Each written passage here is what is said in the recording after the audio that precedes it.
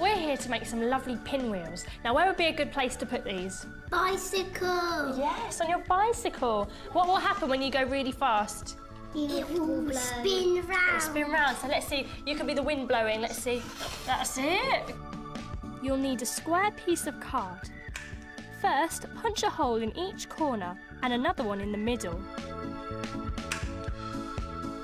Then draw a wavy line on each side. Using round-ended scissors, cut along the wavy lines.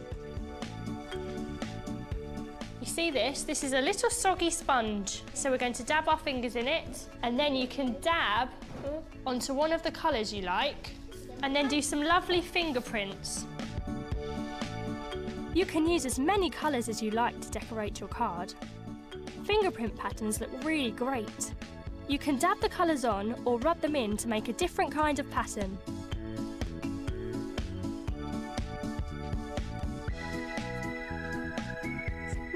Take a pretty coloured stick and push a piece of rolled up card over the top of it. Wrap a pipe cleaner around the card and leave a short length sticking out.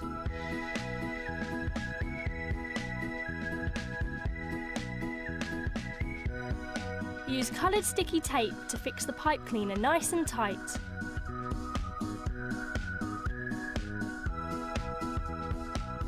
We take our piece of card and the hole in the middle, Yeah. we push it through.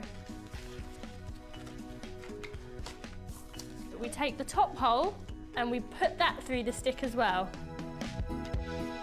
Now fold each corner back and poke the pipe cleaner through your four holes.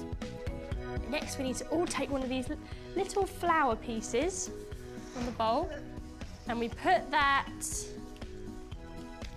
on next, just to keep all our pieces of paper together. Use your paper flower to hold everything in place.